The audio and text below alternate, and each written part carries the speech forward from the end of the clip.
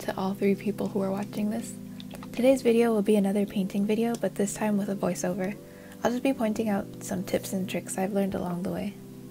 So first of all, I like to tape my borders to get a nice crisp edge at the end. It just looks a lot cleaner and almost like a Polaroid this way. Another trick I've learned is to paint over the taped areas so that once you remove the tape, you'll end up with a nice clean edge. Otherwise, if you don't do this step, you might notice that your paint bleeds over a little even though you taped it. So we're just gonna fast forward until the paint is dry.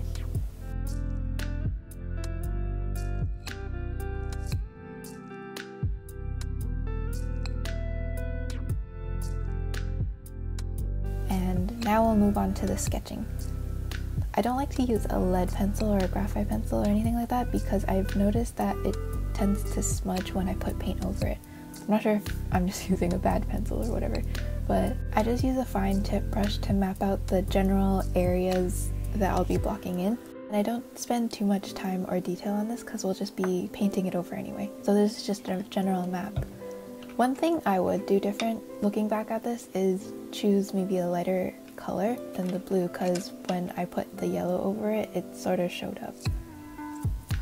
So either a lighter blue or just use the yellow to begin with. Once I'm done the sketch, I move on to blocking the basic colors. So if you think of it as layers, I like to start with the one that's furthest away from you and move forward. In this picture, you can break it up into a few layers, one being the sky, the second one being the buildings, and then the windows, walls, and like everything on the inside. So right now I'm just doing the sky, and you don't have to be too precise with this. You can see where I mapped out the lines of where the, the window beams are going to be. So I make sure to paint over it a little because I know I'm going to be fixing up that line later and I'd rather paint too much than too little and then having to go back and match the color again, which is a hassle. And then you'll notice it cuts off because I ran out of space on my phone so I had to deal with that before filming again, which is why it jumps to the next scene. But all I did was block out the windows or the buildings a little bit and add some lights and darks.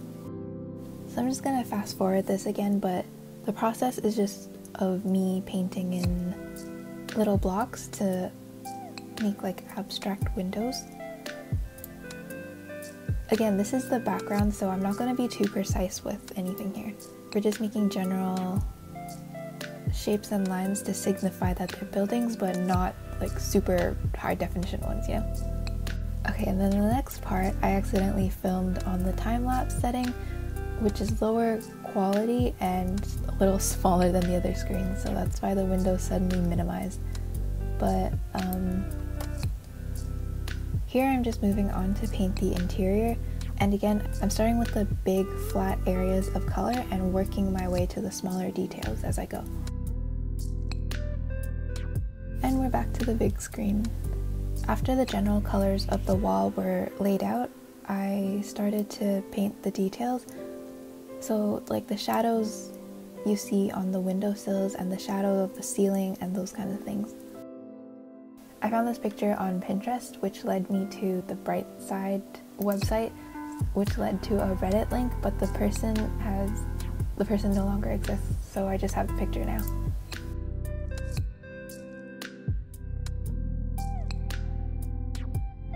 I also cleaned up and brightened some of the areas that that I messed up on. And again, I paint a little past where I drew the outline just to make sure there's no white gaps when I paint the pillow and the bed. Here I'm making a very thin, watered down glaze that I'll apply to the window just to add a little more warmth into the scene outside and create that glare slash reflection that we often see from the sun. I'm just gonna fast forward the next part. I also changed up one of the decorations on the table to a plant because I feel like it would fit better. It's green anyway. I would consider the ceiling, walls, and windows as the midground, and right now I'm just painting the foreground. Oh, throughout this whole process, you'll see that I'm not trying to copy the picture exactly. Like, you can tell it's the same picture, but I'm not but I'm not focusing too hard on the proportions and small details like the the little toys in the window, the lace of the tablecloth, or anything like that. I just wanted to paint for fun, you know.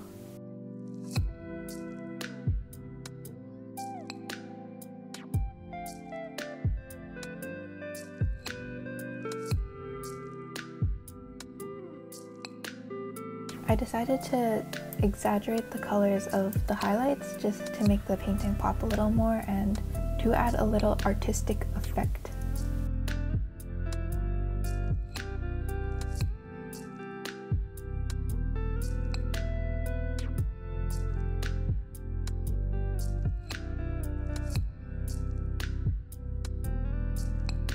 With a fine tip Sharpie pen, I drew the, oh, what's it called?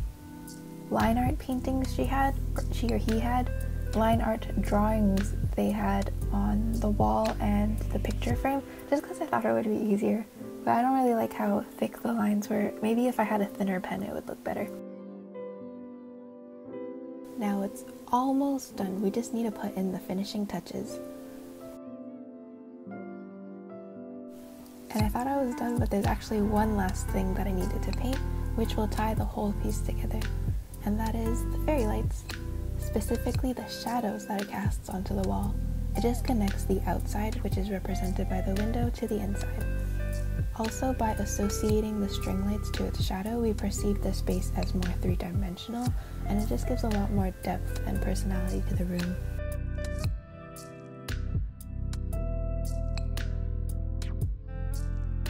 Okay, now the painting is done. Now we just have to do the most satisfying part, which is peeling the tape.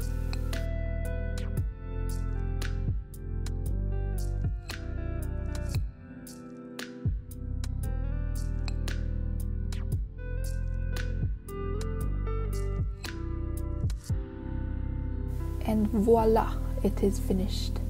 Now I'll just do a montage showing you the smaller details and intricacies and stuff I just want to thank you guys for watching if you got to the end. I'll be posting every week on Thursdays, so please consider like and subscribing if you enjoyed today's video. Meow. I am a cat. Bye.